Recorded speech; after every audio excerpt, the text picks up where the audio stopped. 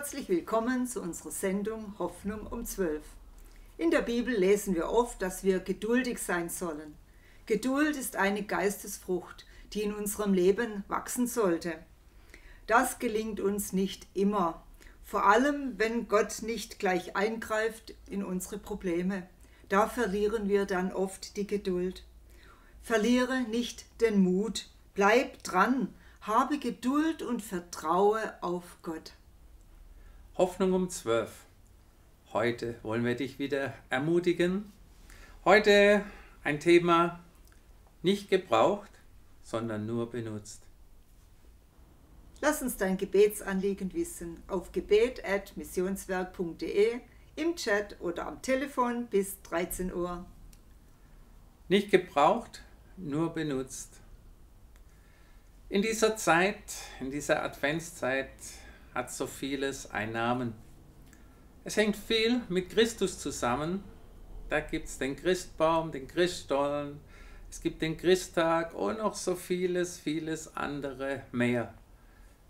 Da steht Christ drauf, um auch Geschäfte zu machen, um irgendwelche Gefühle zu wecken. Aber die wenigsten denken daran irgendwie an Christus. Es ist einfach ein Name. Und in Jesaja 9, Vers 5 steht, man nennt ihn wunderbarer Ratgeber, starker Gott, ewig Vater, Friedefürst. Ist das nicht gewaltig? So jemand zu ignorieren, wie ist doch das eigentlich furchtbar? So jemand, der wirklich Ratgeber, starker Gott, ewig Vater, Friedefürst darstellt in dieser Adventszeit, in dieser Zeit. Jesus kam nicht wegen Weihnachten, er kam wegen dir. Und das ist das Wunderbare, er kam wegen dir. Und nicht für die Weihnachtszeit, sondern für dein ganzes Leben. Jesus ist, ist keine Religion, Jesus ist eine Beziehung, die du mit ihm haben kannst. Eine lebenslange Beziehung. Und das ist das, wo wir wirklich an Weihnachten äh, darüber nachdenken können und wenn du es noch nicht gemacht hast, sage ja zu Jesus. Er möchte mit dir eine Beziehung eingehen.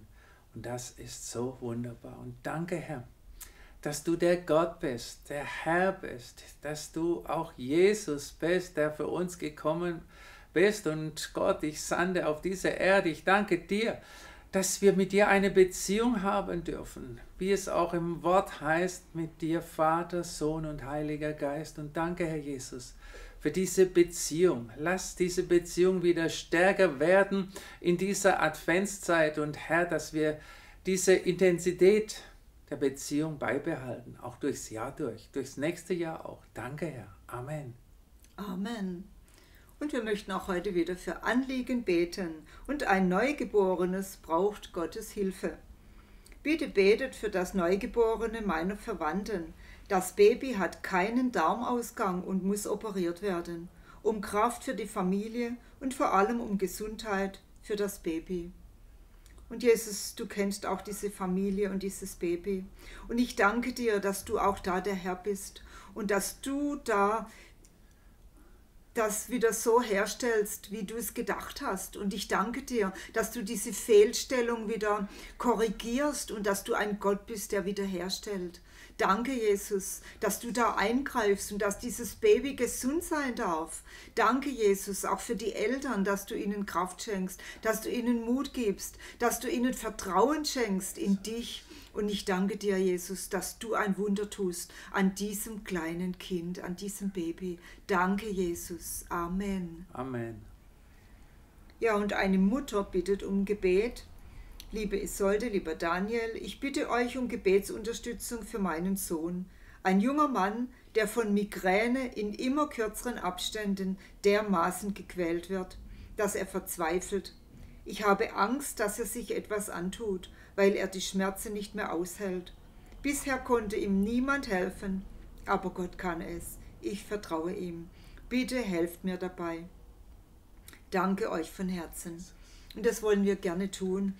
Auch da vertrauen wir Gott, dass er eingreift, dass Da, wo niemand etwas tun kann, er es doch tun kann.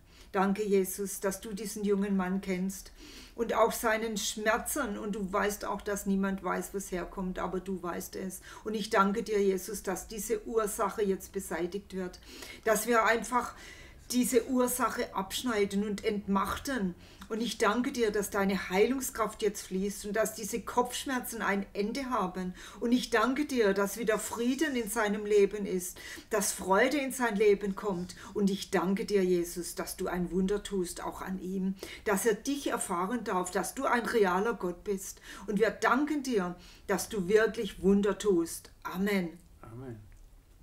Schreib uns dein Anliegen oder ruf uns an. Die Infos sind eingeblendet. Und ein Vater schreibt sein Anliegen für seine Tochter. Ich bitte Sie, für meine 23-jährige kranke Tochter zu beten. Bei ihr wurde eine ganz seltene Autoimmunkrankheit festgestellt, wo weltweit kaum medizinische Studien bzw. Therapien vorliegen. Über Nacht ist sie an ein Beatmungssystem angeschlossen. Die Ärzte versuchen mit diversen medikamentösen Therapien die Krankheit aufzuhalten. Wir vertrauen auf Gott, dass sie wieder gesund wird. Ja, da kann man nur auf Gott vertrauen, was anders hilft da nicht. Und dafür wollen wir beten. Danke, Herr, dass du jetzt auch dieser jungen Frau so, so nahe bist. Und alles, Herr, was da nicht richtig funktioniert, rufen wir in deine göttliche Ordnung hinein. Ich danke dir dafür, Herr, dass diese Autoimmunkrankheit, Herr, du auch am Kreuz von Golgatha besiegt hast. Wo du gesagt hast, es ist vollbracht. Und danke, Herr. Herr, dass wir wirklich in Erwartung sind. Herr, für totale Normalität in diesem Körper. In Jesu Namen. Amen. Amen. Und aus Frankreich kommt dieses Gebetsanliegen. Ich bitte euch um Gebetsunterstützung für das kleine Mädchen, das in meiner Nähe wohnt. Sie ist sehr krank und hat oft epileptische Anfälle. Es gibt keine Grenzen für Jesu Macht und ich danke schon jetzt für das Heilungswunder und euch für die Gebete. Ja, es gibt wirklich keine Grenzen für Jesu Macht. Und ich finde es immer schön, wenn man nicht nur für sich Gebetsanliegen abgibt, sondern wenn auch das Umfeld um einem herum wirklich wichtig ist, wo man auch für den Nachbar und für solche Angelegenheiten betet und fürbittend damit einsteht. Und auch glaubt, dass Gott Gebet erhört, auch wenn diese Leute vielleicht gar nicht an Gott glauben. Herr, ich danke dir dafür, dass du der Gott bist, der Wunder. Und danke, Herr, dass du jetzt auch bei diesem Kind bist. Du kennst jetzt auch diese ganze Not dort. Und ich danke dir dafür, Herr, dass, diese fürbittende, dass dieses fürbittende Gebet bei dir gehört und auch erhört wird. Danke, Herr, dass du der Heiler bist, auch dieses Kindes. Herr, wir glauben es und wir freuen uns auf die Response davon. Danke, Herr. Amen. Amen. Eine Frau hat Folgendes mit ihrem Mann erlebt. Mein Mann erlitt am 19. Juni 2020 ein schreckliches Schädel-Hirntrauma. Er wurde erfolgreich operiert und war fünf Tage im künstlichen Koma und sieben Tage an der Beatmung. Ich bat euch um Gebetsunterstützung. Nach der OP waren wir dankbar und voller Hoffnung. In der anschließenden Reha ging es ihm wochenlang sehr schlecht. Ich habe mich wieder an euch gewandt. Der Herr hat eingegriffen und die Situation hat sich von einem Tag auf den anderen geändert. Der Herr hat Großes an meinem Mann getan. Vor ein paar Wochen konnte er auf eigenen Beinen und ohne Krücken die Reha-Klinik verlassen. Wir sind dem Herrn dankbar und glücklich. Danke für eure Gebete und Unterstützung. Dann eine Heilung in der Gebetsnacht. Ich wurde in der Gebetsnacht geheilt. Daniel sagte, Glaube ist der Sieg. Ich nahm es für mich persönlich. Meine Hände sind nicht mehr zittrig. Danke, Jesus. Auch meine Nerven wurden geheilt. Ich bin so froh und dankbar für sein Eingreifen. Ja, das ist wirklich eine Wendung in einem Leben. Und ein Mann berichtet uns, ich habe um Gebet gebeten, dass Gott mich von meinen Schwindel- und Übelkeitsanfällen befreit und mich heilt. Schon während der Gebetsnacht fühlte ich mich von Gott berührt. Seither ist eine wesentliche Besserung eingetreten. Danke dem Gebetsteam für euer Gebet. Wie wunderbar und Gott macht keine halben Sachen.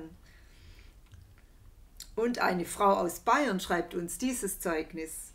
Ich möchte mich bei euch für eure Fürbitte für meinen Enkel bedanken. Sein Körper und die Beine waren voll eitriger Stellen. Er hatte eine Kehlkopfentzündung und auch die Zunge war entzündet, so dass er öfter nichts essen konnte. Am vergangenen Sonntag wurde er geheilt. Ich kann es heute noch nicht fassen, welch großes Wunder der Herr an ihm getan hat. Gott allein gebührt die Ehre. Ja, und manchmal greift Gott gleich ein und manchmal dauert es auch ein bisschen. Ja, wenn Gott auch bei dir eingegriffen hat, lass es uns wissen. Es ist so schön, solche Erhörungen vorzulesen und sie machen wieder anderen richtig Mut. Du kannst über unsere WhatsApp-Nummer uns deine Gebetserhörung mitteilen. Und nun der Tipp des Tages. Denke mal darüber nach. Hast du wirklich eine Beziehung zu Jesus?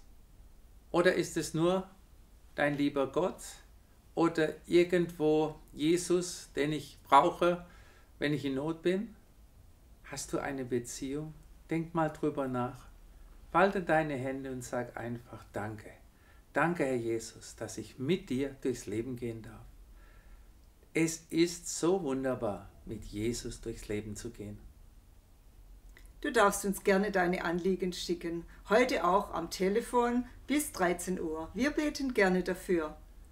Und ich möchte dich einladen für nächsten Sonntag, den dritten Advent. Da haben wir wieder Gottesdienst. Isolde wird am Wort dienen und sei einfach mit dabei, YouTube oder Livestream oder natürlich komm vorbei und erlebe uns live. Auch gerne, wenn du nächsten Montag die Ermutigung der Woche haben möchtest, dann geh auf unsere Webseite ganz unten, mach einen Haken dort rein, Ermutigung der Woche und du bekommst jeden Montag eine Ermutigung auf deine E-Mail-Box. Sei gesegnet und bis bald. Alles Gute, der Herr segne dich.